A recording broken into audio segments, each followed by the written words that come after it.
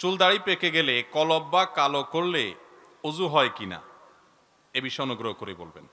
চুল বা দাড়ি যদি কালো হয়ে যায়, তাহলে নবী করিম সাল্লাহ সাল্লাম সেটাকে, সরি, সাদা যদি হয়ে যায় চুল দাড়ি যদি সাদা হয়ে যায়, পেকে, বা যেভাবে হোক সাদা হয়ে যায়, নবী সাল্লাহ সাল্লাম নির্দেশ করেছেন গাইরু হাদ সাইব তোমাদের চুল দাড়ি দাড়ি সাদা হয়ে গেলে সেগুলোকে তোমরা পরিবর্তন করো, সাদা রাখিও না। কিন্তু পরিবর্তন করতে গিয়ে মানে সাদাকে অন্য রঙে রূপান্তর করো, কিন্তু সেটা করতে গিয়ে অজান্য বুঝছে ওয়া, তোমরা কালো কালার আবার করবা না। কালো কলব দিবা না। তাহলে কি করবা? লাল কালার করো, মেহেদির কালার করো, অন্য কিছু করো, কিন্তু কালো কালার করা যাবে না।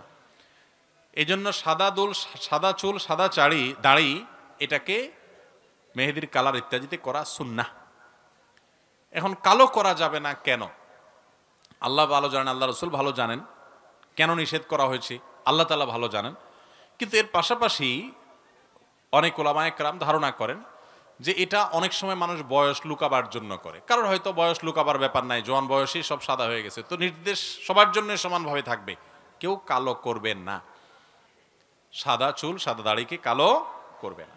কিন্তু যদি কেউ কালো করে, তাহলে তার অজু হবে না, ব্যাপারটা সেরকম না।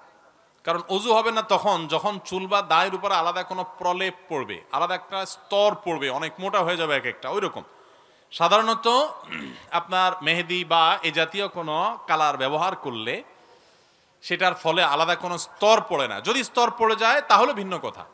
যেমন নখের উপরে আপনি নীল পলিশ লাগাইলেন, তাহলে কি হয়? আলাদা স্তর পড়ে না? যেটা খুশি খুশি পড়ে। তাহলে ওইটার কারণে অজু হবে না। যেহেতু আপনার ওই নখের উপরে পানি যাচ্ছে না, উপরে ওই প্রলেপ আছে যে নেল পলিশের সেজন্য।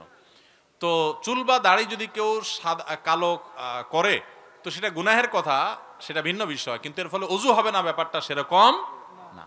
মেহেদি, বাজারের যে আর্টিফিশিয়াল মেহেদি আছে, সেটা যদি আপনি চুল দাড়িতে ব্যবহার করেন, হাতে ব্যবহার করেন, যদিও হাতে ব্যবহার করবে মহিলারা, হাতে পুরুষদের জন্য ব্যবহার করা সুন্নত না। হাতে মেহেদি দিবে কারা? মহিলারা। এখন আমাদের দেশে পুরুষরাই আদা মহিলা হয়ে যেতে চায়। এটা সুন্নার খেলাফ। যাই হোক, তো এই মেহেদি যদি কেউ আর্টিফিশিয়ালটা ব্যবহার করে, টিউব মেহেদি যেটা, তো এর ফলেও অজু হবে, কোনো অসুবিধা নেই। অনেক সময় আর্টিফিশিয়াল মেহেদি ব্যবহার করলে উপর থেকে দেখবেন খসে খসে পড়ে। ওইটা আলাদা কোনো স্তর বা আবরণ না, প্রলেপ না।